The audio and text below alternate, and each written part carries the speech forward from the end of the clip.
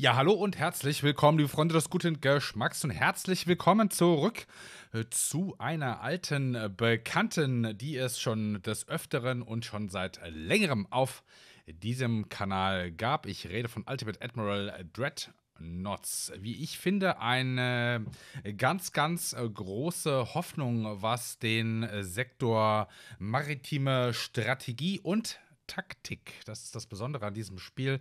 Wir haben hier äh, strategische, operative und taktische Elemente, die hier hoffentlich gut miteinander verbunden werden. Ähm, mein äh, letztes Video war nicht so äh, freundlich, aber ich äh, wollte das Spiel nicht einfach nur runtermachen oder so, sondern ich war einfach ein wenig enttäuscht, was die Entwickler damals, ich weiß leider nicht mehr, wie lange das jetzt her ist, ein paar Monate auf jeden Fall, ähm, ja, für einen Ansatz für die Kampagne, meines Erachtens nach zumindest, gefahren haben. Ähm, nach wie vor, ähm, ja, muss man mal äh, gucken. Also wir haben hier eine rundenbasierte ähm, Strategiekarte oder einen rundenbasierten Strategiemodus oder operativen Modus.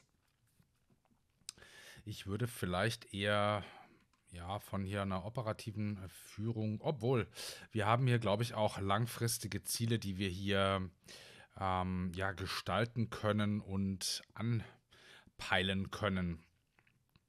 Also wir nennen es mal strategischen Modus, das gucken wir uns gleich an. Wir haben natürlich nach wie vor ähm, die Taktikgefechte, die ihr vielleicht schon äh, entweder aus meinen vorherigen Videos oder aus äh, Videos anderer Content Creator hier auf YouTube äh, kennt. Oder vielleicht habt ihr das äh, Spiel selbst, dann könnt ihr gerne mal in die Kommentare schreiben, äh, wie ihr bis jetzt hier so zufrieden seid. Und ein drittes Standbein dieses Spiels ist der Chip Designer. Das gucken wir uns auch gleich an. Eins vorneweg. Wir werden jetzt hier in diesem äh, ja, Mini-Let's Play, sage ich mal, ich weiß nicht, wie viele Folgen wir hier machen, uns einfach mal ein bisschen in der Kampagne umschauen. Ich habe das Problem, dass es hier keinen, ähm, ja, keine Möglichkeit gibt, es zu safen. Das ist eine Alpha, also ich kann hier einfach nicht versprechen, wie lange das hier gut gehen wird. Also wenn ich eine Aufnahme hier irgendwie verkacke oder so, dann habe ich nicht die Möglichkeit, hier ähm, ja, zu laden und die Aufnahme nochmal zu machen. Dann entsteht halt eine, ähm, ja, eine Inhaltslücke, wenn ihr so wollt. Also das ist halt so ein bisschen das Risiko, was wir jetzt hier haben. Wir spielen das äh, Deutsche Reich oder hier heißt es German Empire. Das ist natürlich jetzt alles eine bisschen alternative Geschichtsschreibung, wenngleich die Schiffsmodelle in diesem Spiel historisch sind. Wir haben Januar 1890, das heißt, wir haben rein theoretisch noch äh, roundabout 25 Jahre, 24 Jahre bis äh, zum Ersten Weltkrieg. Aber wie gesagt, ist eine Art ähm, ja, der alternativen Geschichtsschreibung, was ich ganz nice finde. Kann ich hier ein bisschen rauszoomen? Ach ja, um, äh, was jetzt auch noch der Fall ist, also ich habe ein paar Schiffe selber designt. Ähm, das war mir jetzt irgendwie wichtig, dass ich da nicht dieses Autodesign weil, äh, mache, denn dann habe ich irgendwie Probleme ins Spiel reinzufinden, wenn ich da keinen keine, keine Verbindung zu diesen Schiffen herstellen kann. Wenn ich die nicht selber gemacht habe, dann fällt mir das irgendwie schwer. Da man das nicht speichern kann, ich hätte jetzt natürlich am liebsten gerne die Schiffe designt, was, äh, also ich habe die Schiffe designt, was viel Zeit in Anspruch genommen hat. Und ich kann das Spiel ja aber nicht safen, ja. Also ähm, von daher ähm, habe ich jetzt Schiffe designt. Ich habe mal ganz kurz mich umgeschaut hier in der Kampagne aber ich spiele es quasi blind. Verzeiht mir also, falls ich hier ähm, ja selber noch ein paar Fragezeichen im Kopf habe, aber ich denke mal, das ist recht überschaubar noch und ich meine doch hier, dass man sich auch in einem äh, Blind Game äh, gut zurechtfinden kann. Des Weiteren bietet das Spiel trotz seiner Alpha hier einen wunderbaren ähm, ähm, ja, ein, äh, ein eine Anleitung, die man hier sehr schön äh, thematisch nachschlagen kann, wo ich mich natürlich auch schon ein bisschen eingelesen habe und so weiter.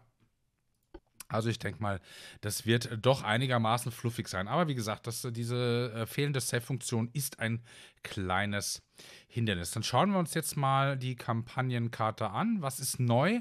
Ich will jetzt nicht auf alle Features eingehen. Das ist ein bisschen viel. Lest euch einfach die ähm, ja, Patch-Notizen selber durch, wen es interessiert. Oder ähm, sagt, Mensch, Basti, es interessiert mich, äh, dann postet ruhig mal, ob ich da ein Video mal kurz drüber machen soll.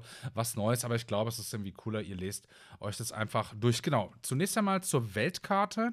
Da ist, soweit ich weiß, das Mittelmeer dazugekommen. Ich glaube, wir waren so, dieser, dieser Kartenausschnitt oder so war, glaube ich, korrigiert mich dabei gerne, beim letzten Patch der Stand. Also nur die Nordsee und äh, Ostsee, beziehungsweise die äh, Baltic Sea, wie es hier heißt.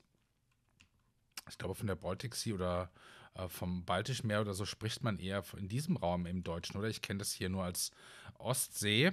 Aber gut, es kann sein, dass das einfach der englische Begriff ist und der dann auch äh, die ähm, Ostsee damit meint. Ja, dann haben wir hier ein Fitzelchen Nordatlantik, der nicht der Rede wert ist. Der reicht gerade mal hier, um ähm, die Iberische Halbinsel herumzufahren, äh, Gibraltar zu passieren, was hier auch ähm, schön historisch korrekt Englisch ist. Wir haben Spanien hier. Portugal jetzt irgendwie nicht, aber ich glaube, Portugal ist jetzt auch erstmal nicht so wichtig. Frankreich ist, glaube ich, auch nicht neu dazugekommen. Die Schiffsdesigns gab es vorher schon für Österreich, auch für Italien. Und jetzt äh, haben wir eben hier das äh, Mittelmeer ne, dazu. ah ja, hier Zypern sogar als, als Basis. Ja, äh, das britische Königreich wäre vielleicht auch schon ganz nett, da mal reinzuzocken. Aber das machen wir vielleicht, wenn beim nächsten Patch die Karte erweitert wird. Ich finde es jetzt eigentlich, ein, also hier das Deutsche Reich zu spielen, eigentlich ein ganz schönes ähm, Setting hier, weil äh, de facto war die ähm, kaiserliche Marine, also zu der Zeit, in der wir uns jetzt befinden, äh, damals, auch wenn es ähm, ja wenn man Kaiser Wilhelm äh, Glauben schenken wollte.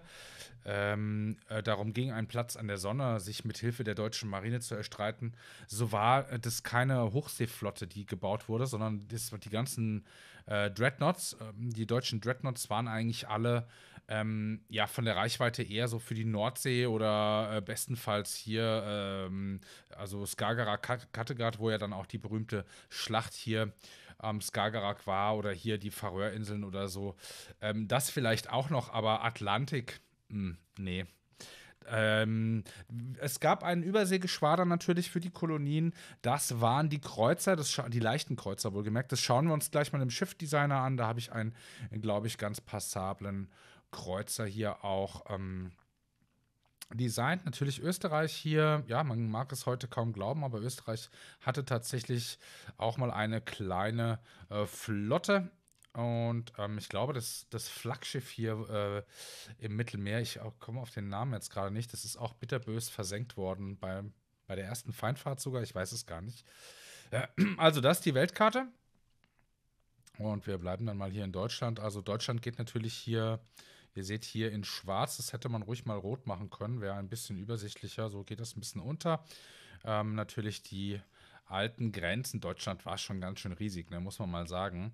Ähm, Danzig und Pillow. Ich habe ein äh, schönes äh, Marinefoto noch ähm, von mir, wo unsere Ausbildungsinspektion, die Inspektion 11 der Marine Ordnungsschule Bremerhaven, vor dem Gebäude Pillau, die Gebäude da in der Marineordnungsschule sind oft ähm, oder einige nach äh, Städten äh, oder Schiffen, glaube ich, sogar äh, benannt. Und die Pillau war, glaube ich, auch eine Dreadnought, aber eben eine alte. Ist es sogar eine Hansestadt? Auf jeden Fall ist Danzig eine Hansestadt.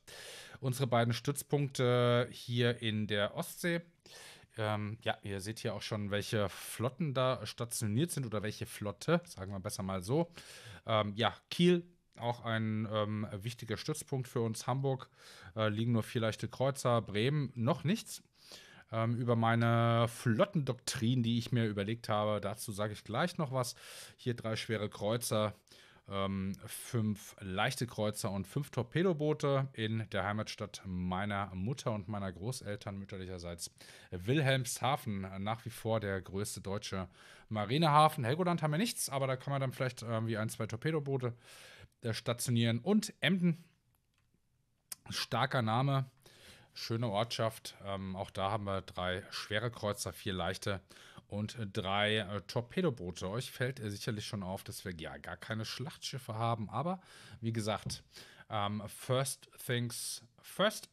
Äh, das ist neu dazugekommen. Ähm, ja, Patch 1.08 übrigens ähm, äh, ist der aktuelle äh, Patch und da ist eben, ja, Polit Pol Politics dazugekommen. Also das ist schon mal sehr viel angenehmer. Das war beim letzten, äh, äh, bei der letzten Version der Kampagne halt irgendwie, da war man einfach so im Krieg und das war einfach ein Kampagnenmodus, den hätte man sich sparen können.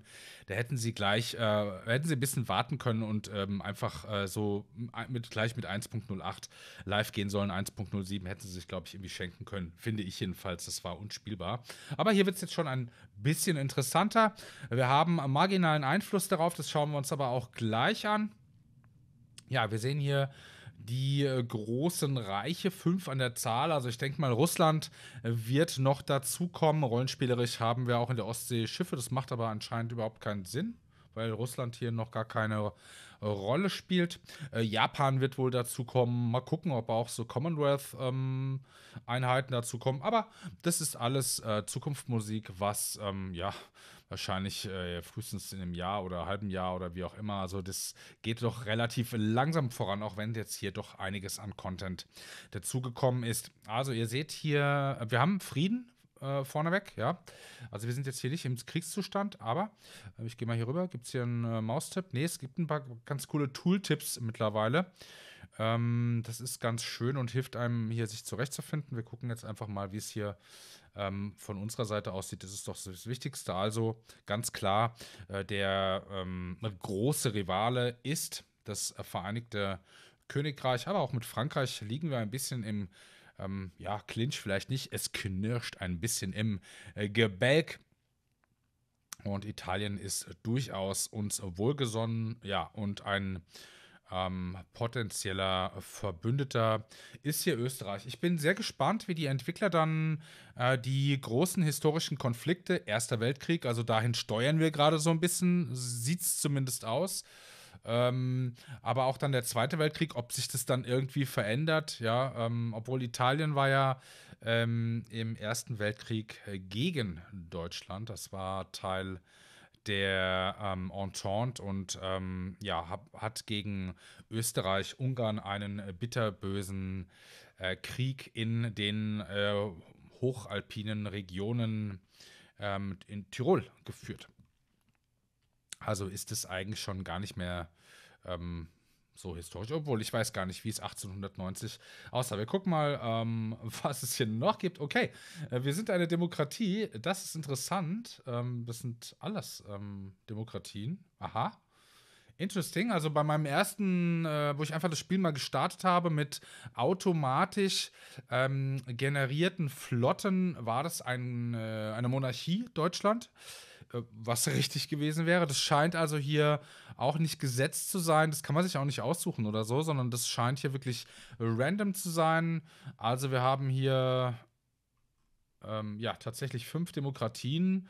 Ähm, da wäre ein Krieg natürlich ausgeschlossen. Ja, also äh, man spricht ja vom demokratischen Frieden. Das gibt es also nicht. Also äh, Public Opinion ich denke mal, das ist die Meinung über die Marine oder die Meinung über unsere Art, wie wir die Marine führen, vermute ich mal. Äh, dann äh, Naval äh, Prestige. Sollen wir mal eben hier äh, gucken, ob wir da was drüber finden. Ich vermute mal, das hat was damit zu tun. Ähm, nee, schade. A new campaign.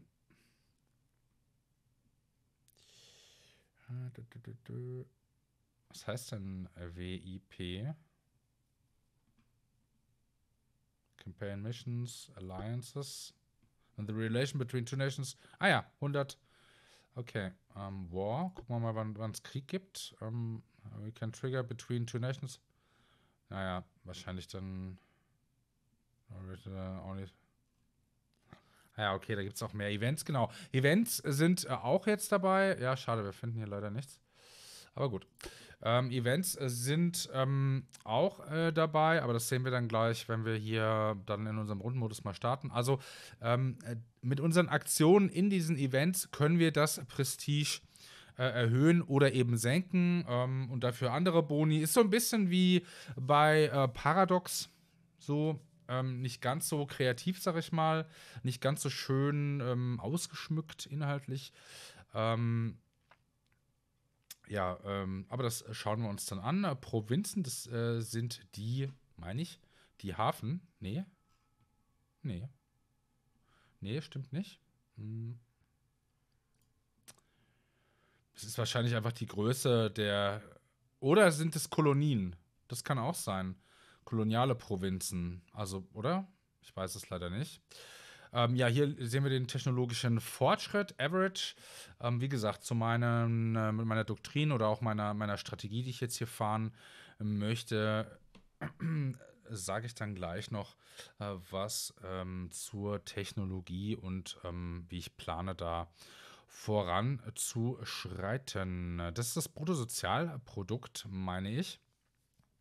Also das ist quasi die, die Wirtschaft. Hier sehen wir nochmal ein Wirtschaftswachstum, was äh, jetzt schon mal ziemlich ordentlich aussieht, außer das Empire liegt, oder liegen wir auf Platz 2, das ist gut zu wissen. Dann haben wir ein Naval Budget, wie gesagt, ich denke mal, das wird sich verändern, wenn sich hier unser Prestige erhöht oder eben äh, sinkt. Ähm, Naval Funds, das äh, müsste unser ähm, ja, das sind, ist unser ähm, aktuelles Guthaben sozusagen. Und wahrscheinlich, wenn man das hier dazu. Nee. Mann, Mann. Gute Frage. Hm. Wenn ich das jetzt alles auf Null mache, aber dann 30.000. Ja, okay. Alles klar.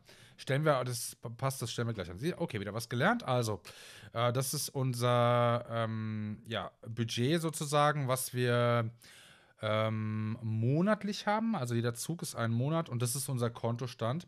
Dann haben wir Besatzungen hier, das müssen wir auch ein bisschen im Auge halten. Haben wir, sind wir, haben wir recht viel, aber wir haben auch eine kleine Flotte. Und ich finde, das ist äh, rollenspielerisch ein ganz ähm, ja, netter Ansatz, hier mit Deutschland eine kleine Flotte zu fahren. Wir haben jetzt ja Zeit aufzurüsten, hoffe ich. Also das ist einfach das Kalkül, was ich fahre. Und England hat natürlich ähm, eine extrem große Flotte. Auch Frankreich, gerade zusammen sind die uns natürlich hier haushoch überlegen. Aber ich plane eine moderne Flotte aufzubauen, deswegen habe ich sie klein gehalten. Dazu dann äh, gleich mehr ähm, in dem Bereich ähm, Chip Design. Da gehen wir vielleicht mal zuerst rein, bevor wir dann Research machen, nachdem wir die Finances durchgesprochen haben. Oder nee, wir gehen danach ins Chip Design, so machen wir das. So, ähm, also dann äh, gibt es mittlerweile U-Boote. Das ist auch ein neues äh, Feature. Buildings, bin ich äh, Building, achso, das sind die Schiffe, die im Bau äh, sich befinden. Ihr seht hier sind sogar schon welche im Bau auf Kiel gelegt. Das macht aber nichts, dass wir jetzt hier null haben, denn die sind, äh, wie gesagt, ich hatte jetzt schon mal ein Spiel mit ähm, einer autogenerierten Flotte begonnen. Da waren dann automatisch auch schon Schiffe im Bau, die waren aber alle ganz äh, am Anfang noch. Also die waren quasi auch gerade auf äh, Kiel gelegt. Und dann, also sehen wir hier Einheiten, die repariert werden oder refitted werden. Also ihr könnt auch Schiffe modernisieren. Das finde ich auch wirklich fantastisch. Und hier eben die Task Forces, die gebildet sind und in See stehen, möchte ich meinen. Aber da äh, wird sich wahrscheinlich dann auch das noch ein bisschen in meinem Kopf aufhellen. So, ich habe drei Schiffstypen designt. Die Designs mache ich immer offscreen, es sei denn, ich mache einzelne äh, Designfolgen, die ein bisschen größer, äh, beziehungsweise wenn das neue Design ähm, inter besonders interessant oder radikal neu wird oder so, oder da könnt ihr auch gerne mal in die Kommentare schreiben, ähm, weil das dauert, ja, bis, bis man so ein Schiff gebaut hat. Das ist sehr, sehr viel Tüftelei. Wer das Spiel noch gar nicht kennt, ähm, ihr seht hier rechts schon mal anhand der Stats, die ein Schiff hat, was es da alles zu beachten gibt. Und ich würde doch mal behaupten, das sucht wirklich seinesgleichen und ganz toll hier nochmal mit äh, so einem äh, Datenblatt, ja, wie man es aus, ähm, ja, aus einem U-Boot-Handbuch oder so vielleicht kennt, ja. Also wirklich wunder wunderschön und ähm, das hat alles einen Impact auf das Gameplay dann in den Taktikgefechten. Ihr seht auch sehr schön hier, da werden die Geschütze gehighlightet und so weiter. Also das ist alles sehr fluffig gemacht und ähm, ihr seht schon hier, es gibt ähm, hier jetzt nicht gerade, aber es gibt jede Menge Tooltips mittlerweile, ja, also Äh, das Spiel erklärt sich dann quasi von selbst, wenn man denn nicht so faul ist äh, zu lesen. Ihr seht, ich habe drei äh, Schiffsklassen designt: den schweren Kreuzer äh, äh der Preußen-Klasse, leichten Kreuzer der Emden-Klasse. Einfach Preußen ist es, ähm, ja, das Stammgebiet der Hohenzollern, also unseres Kaisers. Und die Schlachtschiffe kriegen dann ein bisschen imposantere Namen, aber ich denke mal, für schwere Kreuzer sind ähm, ja so Sachsen, Preußen, äh, Württemberg und solche Namen werden da, denke ich mal, äh, dann für die Klassen äh, folgen. Schlachtschiff haben wir, wie gesagt, noch nicht, aber dazu dann gleich mehr im Technikbaum. Dann gucken wir uns mal an, äh, was die Preußen so kann. Wir haben eine Tonnage von 4000 äh, Tonnen. Das ist zurzeit limitiert durch unser Dock. Auch deswegen habe ich kein Schlachtschiff gebaut, weil wir sehr, sehr kleine äh, Docks haben. Jetzt äh, beschwert sich gerade mein Hund, weil ich wahrscheinlich hier so laut rede. Äh, das Ding macht 20 äh, Knoten. Das ist ein bisschen tricky. Ähm, wir gehen mal hier in Refit rein. Ähm, ihr seht, also es gibt eine ähm, eine Leistung natürlich, die die Maschinen entfalten. Ihr könnt hier ähm, ja halt äh, die Art, wie die Maschine befeuert wird, also Öl, Kohle und so weiter, ja. Äh, dann halt hier was für Boiler oder ist es eine Turbine oder so, da kommen ja dann neue Technologien hinzu. Bis jetzt haben wir hier keinerlei Auswahlmöglichkeiten und hier ist einfach eine ganz normale Dampfmaschine. Und ähm, ihr seht hier 24 Horsepower per Engine Ton, also pro Tonne äh, der Maschine ähm, haben wir eben 24 Horsepower. Ihr, das ist quasi nur ähm, Fuel, Smoke, Interference, Funnel Capacity. Okay. Also der Antrieb bestimmt quasi die Leistung, die die Maschine entfaltet. Die Schornsteine, mh, hm, da gehen wir mal drauf. Ähm, die haben eine sogenannte äh, Funnel Capacity, also eine Kapazität ähm, für die äh, Dampfmaschine sozusagen. Also ihr habt hier eine, eine starke Dampfmaschine, braucht ihr logischerweise einen großen Schornstein mit einer sogenannten, also dessen, dessen Wert ist sozusagen die Funnel Capacity, also seine Kapazität. Und dieser Schornstein muss natürlich ähm, adäquat zur Maschine passen, um da die volle Leistungsentfaltung zu bringen. So, dann gehen wir jetzt mal, ähm, genau, sorry, ähm, so. Hm, kann ich mal ein bisschen rauszoomen, dann habe ich nicht so äh, doofe äh, Pop-ups hier. So, hier sehen wir jetzt unsere Engine Power. Ja. Die verändert sich mit der Geschwindigkeit, die ich hier einstelle. Achtet jetzt mal hier bitte auf äh, die Engine Power. Upsa. Machen wir mal 18 Knoten. Zack. Da geht die runter. Und die Engine Efficiency ist, wer aufgepasst hat, äh, das war vorher hier rot und weit unten, ähm, die Engine Efficiency ist quasi die Effizienz oder ähm, das effiziente Zusammenspiel von Maschine, ähm, also mit Befeuerung und äh, Antrieb und so, und den Schornsteinen. Ja, und der Leistung, die von der Maschine verlangt wurde. Ja, so wenn, wenn ich meinen Ingenieuren sage, wir wollen 18 Knoten laufen, dann sagen die alle, klar, da passt irgendwie äh, eine kleine Maschine dazu. Und äh, da passen auch kleine Schornsteine. Dann sagt ihr jetzt so, ja, Basti, warum nimmst du denn dann nicht, ähm, äh, wenn das hier rot ist, rot ist eine Signalfarbe, das ist nie gut, ja, das ist mir bewusst. Warum nimmst du denn dann nicht bessere Schornsteine? Ganz einfach, weil ich die besten schon verbaut habe, ja. Wir können auch Small Funnels nehmen, ne? Also das sind hier die Standard Funnel, also der Standard Schornstein mit einer Funnel Capacity von 6. Der Schornstein tut aber auch anders als der kleine Schornstein eine äh, Smoke Interference ähm, also eine größere Rauchsäule ähm, ausbilden und damit eine größere Zielsignatur. Also ihr seid auf weitere Entfernungen dann auch zu spotten. Ihr seht, das spielt alles massiv ähm, ineinander und das macht das eigentlich so genial und ist eigentlich hier ein Spiel in Spiel. Diese, diese Taktikgefechte als auch ähm, der Chipdesigner als auch die Kampagne, die noch sehr rudimentär ist, muss man dazu sagen. Wobei jetzt die Taktikgefechte und der Chipdesigner schon extrem äh, ausgefeilt sind.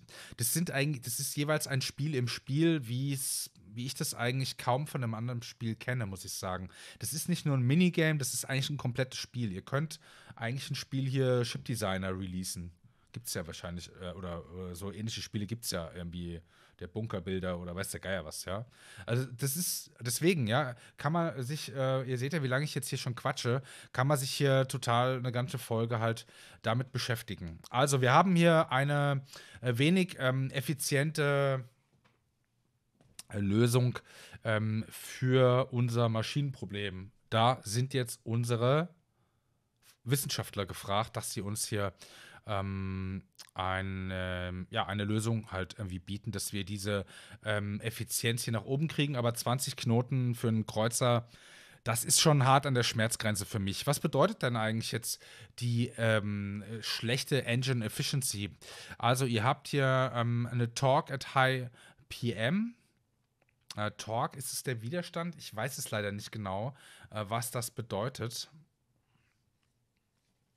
Ähm, ja, ich weiß leider nicht, vielleicht weiß das jemand, der darf das gerne mal ähm, ähm, äh, posten, was das genau bedeutet. Also wenn wir auf, äh, auf voller Fahrt ähm, ähm, laufen, haben wir Talk. Ist das ein Widerstand oder so? Keine Ahnung. Also schreibt es gerne mal in die, äh, in die Apotheke, wollte ich gerade sagen. in die Kommentare. ähm, ja, und wir haben eine, einen begrenzten Einsatzradius. Das ist aber nicht so schlimm, äh, da ich, äh, wie gesagt, äh, wir eh nur in der Nordsee operieren werden mit den Kreuzern. Das ist mehr als ausreichend, ja. Also auch das spielt dann übrigens auch der Speed mit der Tonnage zusammen und so weiter. Also, um das jetzt mal ein bisschen ähm, äh, abzukürzen, es sollte jetzt einfach nur mal ein Beispiel sein, wie komplex das alles zusammenhängt und wie lange man da dran sitzen kann. Ich glaube, man kann einen ganzen Tag äh, in ein, eine ähm, Schiffsklasse irgendwie versenken. Also, ähm, wie gehen wir das jetzt am besten äh, durch? Also, hier haben wir äh, keine, keinerlei Auswahl. Das Einzige, was, was wir hier wählen können, ist äh, die äh, Ruderanlage, unbalanced oder äh, balanced. Ich habe hier. Hm, passt das rein? Mal, ist das, das ist eigentlich besser, ne? Es wird dann aber teurer. Unwesentlich. Na, dann nehmen wir doch die für einen Kreuzer doch fantastisch.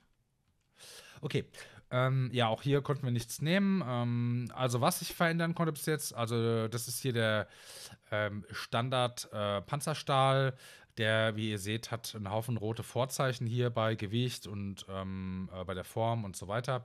Ähm, da habe ich den äh, Compound Armor. Also ein Compound Armor ist ähm, ein, ein äh, Stahl, der aus zwei Materialien ähm, verwendet ist. Ähm, ähnlich wie bei einem Samurai-Schwert oder so. Also ihr habt einen äh, harten Stahl und eben einen weichen Stahl. Der harte macht den widerstandsfähig und ähm, der weiche dann elastisch, das, der dadurch einfach noch ein bisschen schwerer zu durchdringen ist. Hm, das habe ich leider.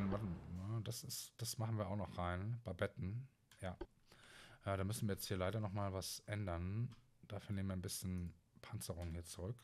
Zack. Perfekt. Super. Ähm, das hatte ich irgendwie verpennt. Also, ich hatte es schon mal in einer, in einer Folge, äh, in einer Taktikfolge hier von dem äh, Spiel. Babetten sind extrem wichtig, weil die eben eure Munition ähm, schützen, die in den Geschützen gerade im Einsatz ist. Das haben wir nach wie vor Single, werden wir dann mal besprechen, äh, wenn wir hier ähm, ja, neue Updates sozusagen haben. Was wir hier haben, ist eine Zitadelle. Eine Zitadelle ist eine Rumpfphilosophie, wo man ähm, äh, vitale ähm, Einrichtungen tiefer im Schiffskörper verbaut, sodass die nicht nur von der äußeren Panzerung geschützt sind, sondern eben auch durch die verschiedenen Abteilungen und ähm, Decks.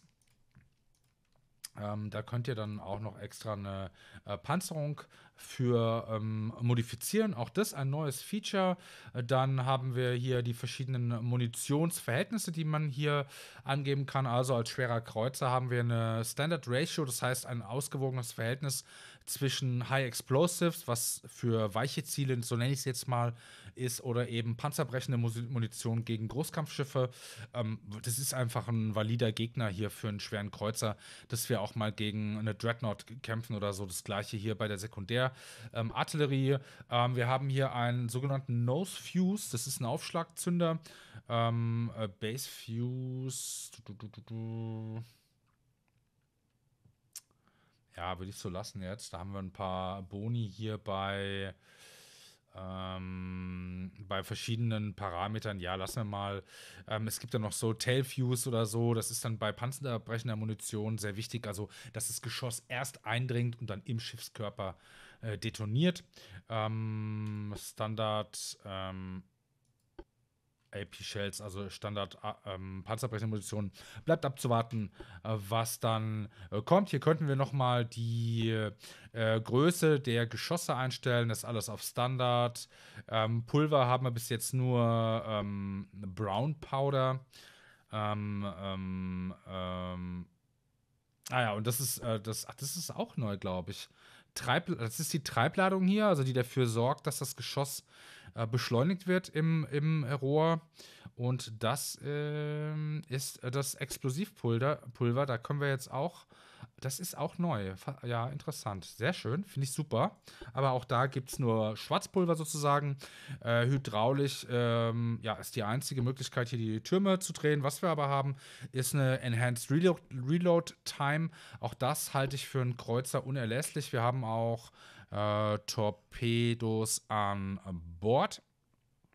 Wir haben hier drei Unterwasser-Torpedorohre. Wir haben achtern kein Torpedorohr. Das konnte ich nicht bauen, damit hier äh, die Balance des Schiffes nicht ähm, gestört wird. 15 äh, Zoll Torpedos verschießen wir. Wir haben keine extra Munition mit. Hier ist die Panzerung, also Main Belt. Das ist der Panzergürtel, gerade in der ähm, ja, frühen Ära der Panzerschiffe, so nenne ich es jetzt mal, also der modernen Kriegsschiffe, so, die nicht mehr aus Holz sind, ja, ist der Gürtelpanzer extrem wichtig. Äh, schreiten wir voran mit der Technologie ähm, im Geschützbau, also kommen wir in größere Reichweiten, dann 18 Kilometer, 30 Kilometer äh, Reichweiten, die geschossen werden können, theoretische Reichweiten zumindest. Da geht es dann ins Steilfeuer und da wird dann die Deckspanzerung auch, auch wichtig. Die ist jetzt aber bei diesen Schiffstypen nicht so wichtig, aber wir haben hier 18 Zentimeter immer, das ist doch recht beeindruckend für einen schweren Kreuzer. Ähm, Gürtelpanzerung, die Turmpanzerung, also hier vom, von dem, ähm, ja, ähm, Hauptturm. Äh, stolze 19 cm immerhin. Äh, dann haben wir hier noch vor, vordere und äh, achtere Gürtelpanzerung. Sieht man das irgendwie? Nee. Also achtere Gürtelpanzerung ist hier, vordere Gürtelpanzerung ist hier.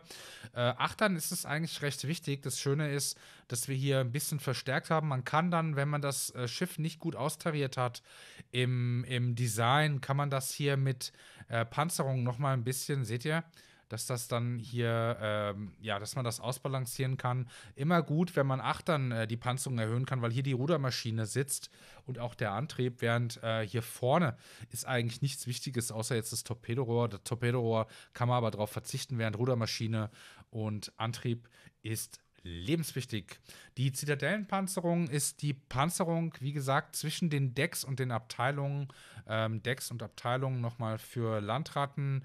Abteilungen sind die Linien, die hier äh, vertikal stehen und die horizontalen ähm, Linien. Habe ich jetzt Abteilungen gesagt? Ja, genau.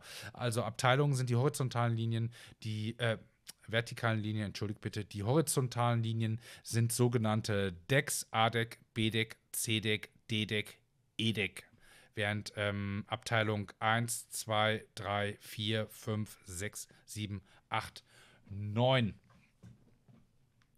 Ja, ähm, ihr das äh, wisst in Zukunft, wenn ich hier von Decks oder Abteilungen rede. Ähm, ja, dann auch noch ein paar neue Features. Also wir können hier die Kaliber, auch sehr, sehr cooles Feature.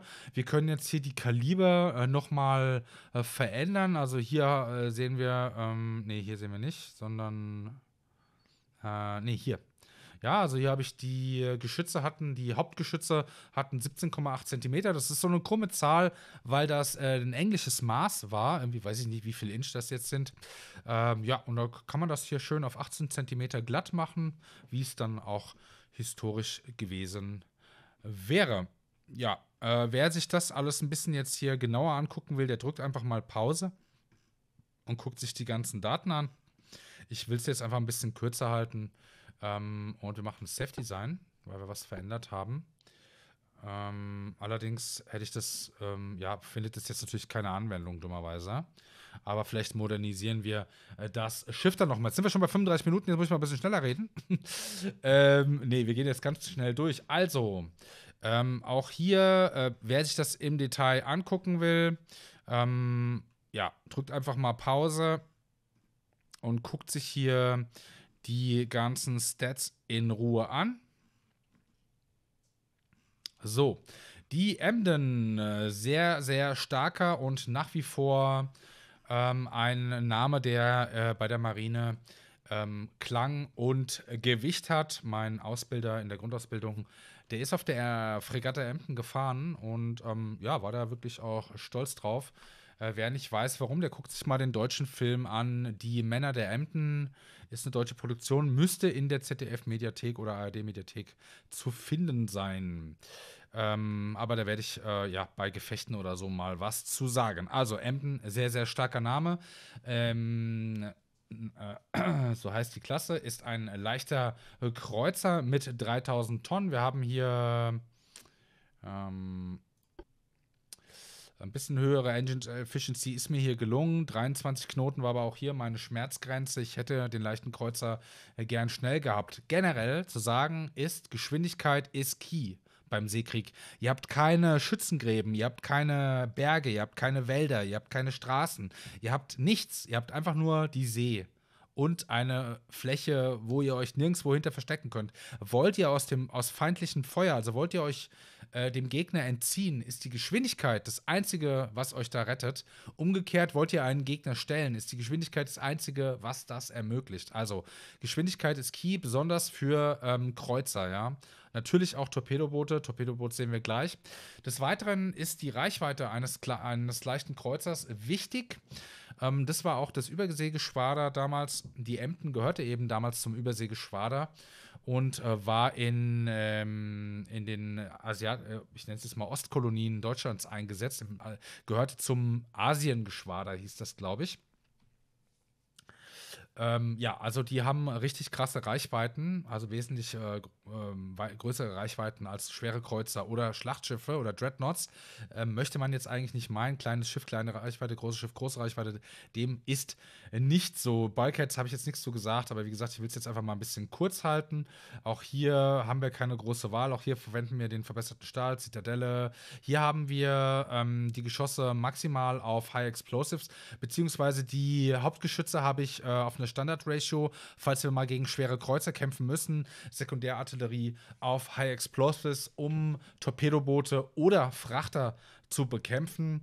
Ähm, ja, dann alles wie gehabt. Hier Enhanced Reloading auch. Ähm, ja, Standard Torpedo Ammo. Hier seht ihr die Panzerung und äh, so äh, weiter. Ja, wir haben halt hier vier Schornsteine, äh, was wirklich eine sehr, sehr schöne Silhouette ergibt. Wir haben allerdings hier nicht den besten. Doch. Ah, Rear Tower haben wir, glaube ich. Nee, doch, haben wir auch den besten. Alles klar. Nee, haben wir alles, äh, was State of the Art im Jahre 1890 ist. Wir haben hier so schöne äh, abgeschrägte Funnels, also Schornsteine, die so ein bisschen wie bei der Titanic auch aussehen. Finde ich äh, sehr, sehr schön. Hier die Kasematten.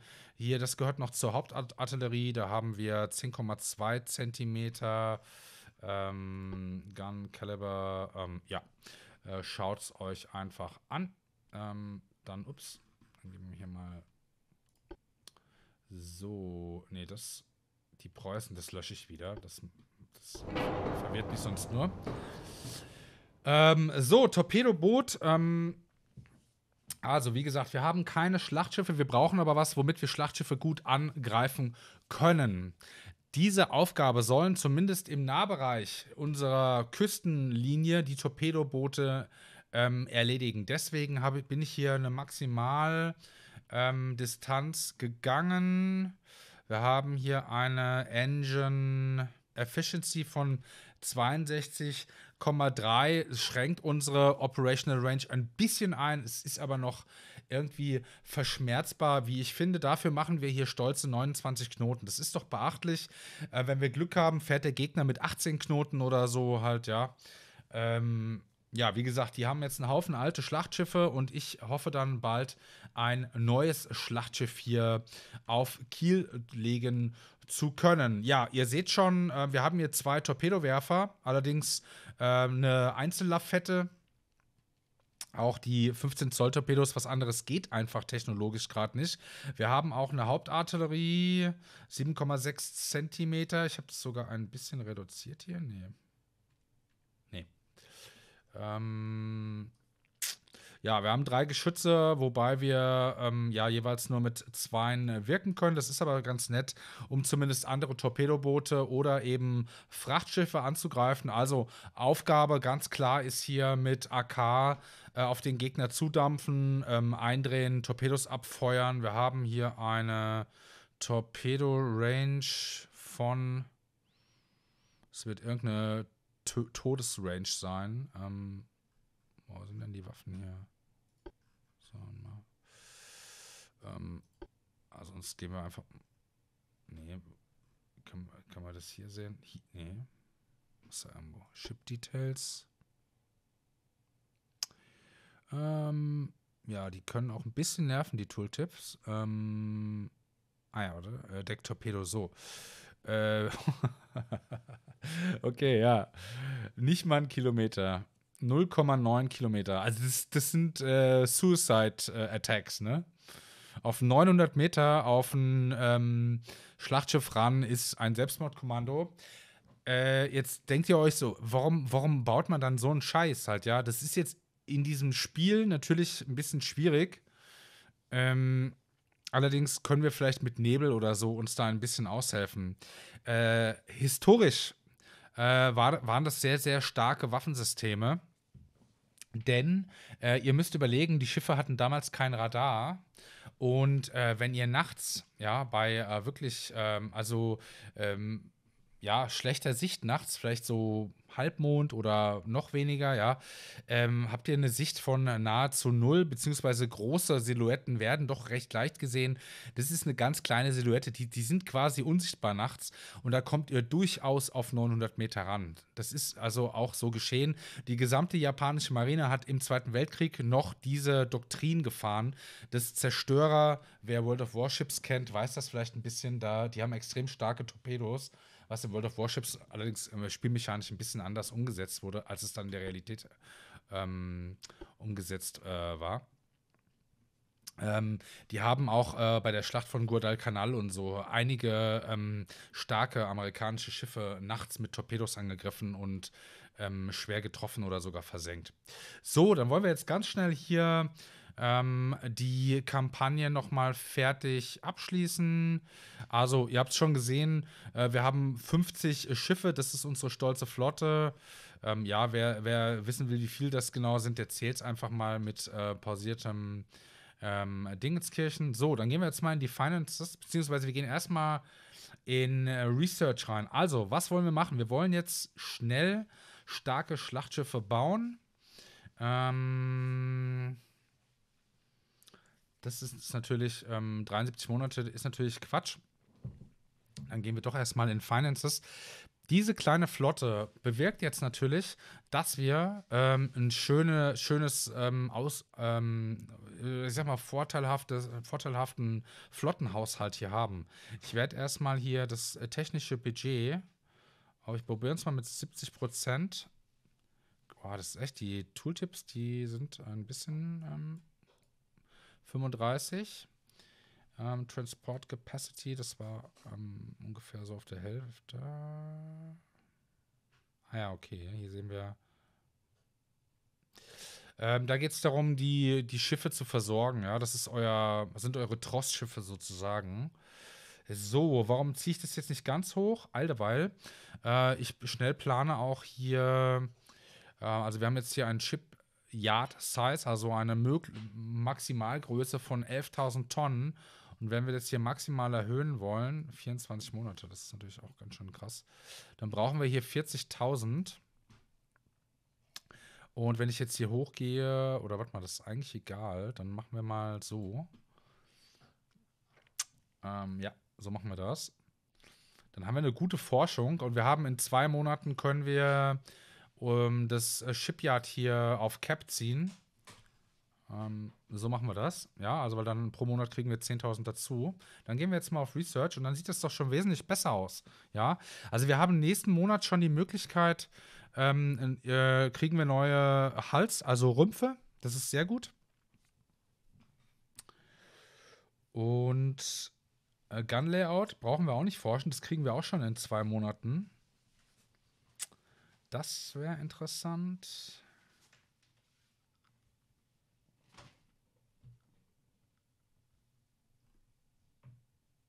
Hier sehen wir noch gar keinen Boil Rate. Da gewinnen wir Gewicht. Improves Fuel Texture in Consumption. Enhance Funnels. Ah.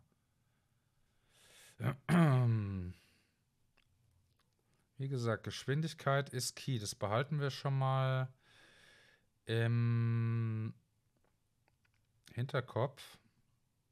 Ne, also Submarines habt ihr hier auch, aber dazu dann in einer anderen Folge mehr.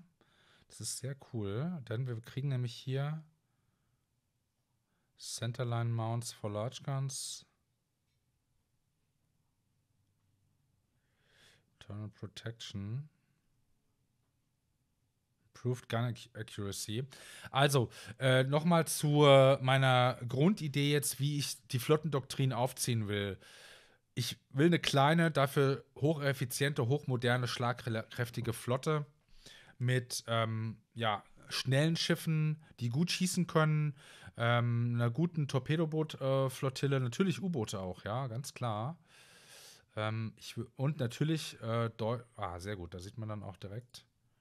Ähm, ja, aber hier passiert noch nichts, ne? Armor Quality 25 Monate. Das können wir eigentlich so lassen, weil wir, ähm, obwohl wir könnten neue Kreuzer auf Kiel legen. Ähm,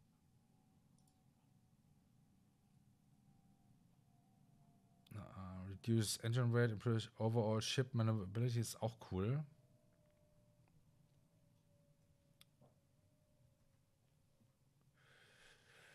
Also das kriegen wir noch Rangefinder hier.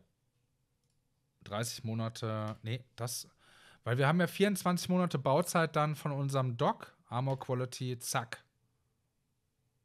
Das ist sonst auch zu lang, ne? Seht ihr das?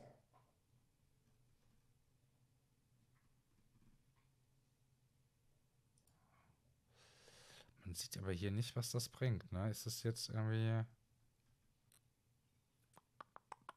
Ja, wir lassen es mal. Machen wir so. Okay, dann, ähm, ja, dann wären wir durch. Und war ein bisschen länger die Folge. Ich hoffe, du bist hier bis zum Schluss dabei geblieben. Und in der nächsten Folge werden wir dann den ersten Zug machen. Und äh, ja, gucken wir, vielleicht gibt es schon ein Event. Dann gucken wir uns die Stützpunkte auch mal an, was die für Kapazitäten haben und so weiter. Dann schicken wir vielleicht schon die ersten Einheiten in Marsch und äh, so äh, weiter. Lass mir deine Ideen und Gedanken zu diesem Let's Play, zu deinen Erfahrungen natürlich in den Kommentaren da. Und ähm, ja, über ein Abo würde ich mich natürlich auch immer freuen, äh, so wie ein Like. Ich bin der Basti. Raus. Ciao, ciao.